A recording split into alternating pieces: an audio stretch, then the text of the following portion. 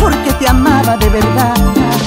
Hoy de ese amor ya no queda nada. Que seas feliz, que seas feliz y que te vaya bien. Vive tu vida.